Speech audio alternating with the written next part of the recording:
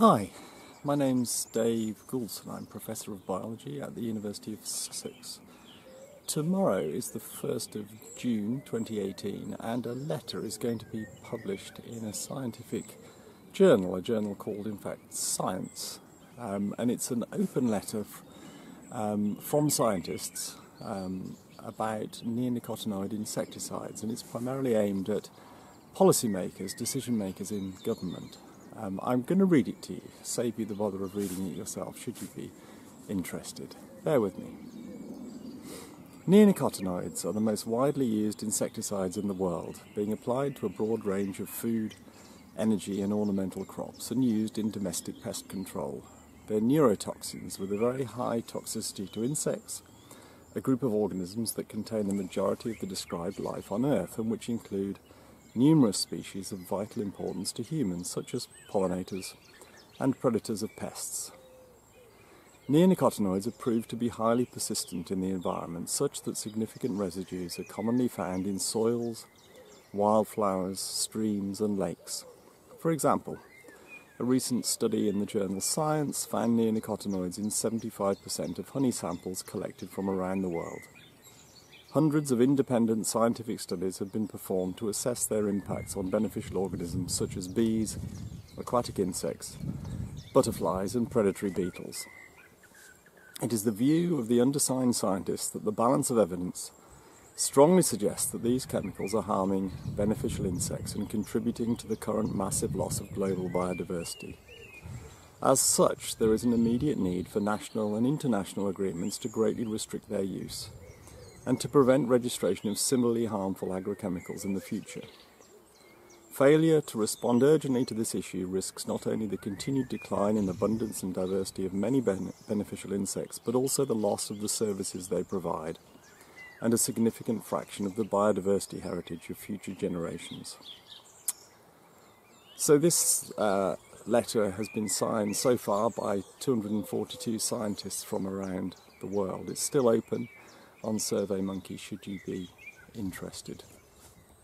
And you might be wondering if you're really on the ball why why this is being published now because if you're based in Europe you'll be aware that the European Union recently decided a month ago um, that it was going to ban the main neonicotinoids completely uh, from use in uh, agriculture apart from in glasshouses, uh, which is pretty good news I think for European uh, insects.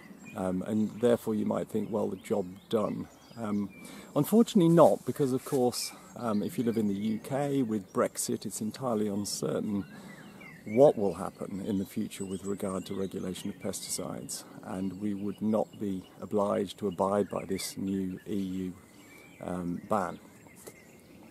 Also, of course, in the rest of the world, uh, neonicotinoids are still extremely widely used, for example, in the USA, Canada, South America, pretty much everywhere so far as one can ascertain. Uh, and those countries um, have not yet taken really measures of any significance at all to restrict their use. Now, if they're harming pollinators and other insects in Europe, they'll be harming them in the rest of the world too. So um, it doesn't make a lot of sense to have a ban in Europe and nothing anywhere else. We should also, even if this ban does go ahead, um, and remains in place in Britain. Be aware that although we might have won something of a, a battle, the overall war um, is not one that we're winning. Um, not least because these pesticides, neonicotinoids, will just be replaced by something else, and whether it will actually be any better is debatable. If you look at the history of pesticide use, where for the last 70 years farming has become increasingly dependent on using lots of different pesticides. We've seen generations of pesticides come and go. They, they arrive, we're told they're safe, that they're fine for the environment, uh, that they've passed the latest regulatory procedures. But then it turns out 10 or 20 years later that they're not safe and they get banned. So think of DDT and the organophosphates and now the neonicotinoids and so on. So there are new insecticides with great names that you can hardly pronounce, like sulfoxaflor, flupyradifurone, cyantraniliprole, and many other tongue twisters coming your way to a field near you sometime soon.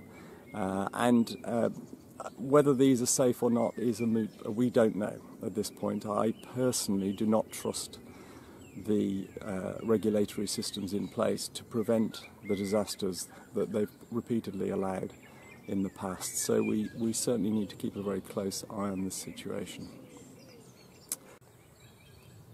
In my view, what we really need to do is move away from systems of farming which are so heavily dependent on one type of pesticide or another. We have a situation where if we ban one pesticide, farmers just want to know what they can use instead, what other chemical is available to them. We really need to be looking for alternatives to chemicals if we want to find a truly sustainable way of growing food and feeding the world. Thank you.